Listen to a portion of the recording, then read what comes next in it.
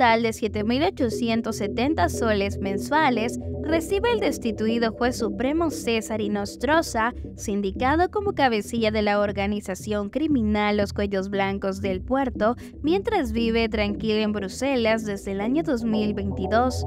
Así lo ha revelado una publicación del semanario de Hildebrand en sus 13, en la que exponen una fotografía de Inostroza cuando realizaba compras con una vestimenta casual. El ex juez de la Corte Suprema, César Inostroza Pariachi, huyó del Perú en octubre del año 2018 y luego del escándalo de los audios que lo involucran en la red de corrupción Los Cuellos Blancos, integrada por jueces, fiscales y abogados que negociaban favores para arreglar procesos judiciales, penales y civiles, además de influir en el desaparecido Consejo Nacional de la Magistratura. Y Nostroza viene recibiendo un alto monto por parte del Poder Judicial, a pesar de haber ingresado a la lista de las personas más buscadas en el año 2018. Se conoce que permaneció cuatro años en Madrid y su decisión de partir a Bélgica, según el semanario, se da porque aparentemente España le habría negado el asilo y el Consejo de Ministros de Pedro Sánchez estaba por aprobar su captura y extradición. A continuación, compartimos el listado de personas de enero del 2021 del Poder Judicial. En esta información, a la que accedió el mencionado medio, revela que Inostrocia Pariachi califica como pensionista jubilado. Mauricio Inostroza Fernando, como cargo de analista 2, posee un total de ingresos mensuales de 6.503 soles.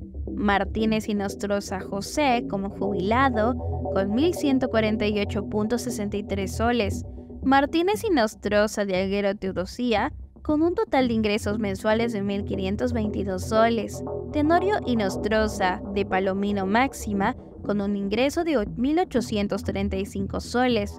Y Nostroza Taza León Darío con un ingreso de 1.996.29 soles, Ricaldi Nostroza Rodolfo Eduardo con ingresos de 5.530.94 soles, e Inostroza Pariachi César José con 7.870 soles y Nostroza Pascual Enedina Lili con 1.300 soles. En agosto del año 2022, la Interpol decidió terminar con la búsqueda del juez involucrado en los cuellos blancos del puerto porque en su condición de prófugo presentó una impugnación a su incorporación en la lista roja. Interpol suspendería la búsqueda por nueve meses. Sin embargo, pasó más de un año y todavía no se activa. Procuraduría Anticorrupción informó que ha presentado escritos a la Interpol, pero estos no han tenido éxito. Y Nostroso Pariachi no solo recibe su pensión de 7.870 soles mensuales, pues además de ello se beneficia de gratificaciones, bonificaciones, aguinaldos y demás extras, como cualquier trabajador del Poder Judicial. El semanario indicó que Inostroza es pensionista desde enero del 2021, a pesar de que le faltaba un año para la edad de jubilación.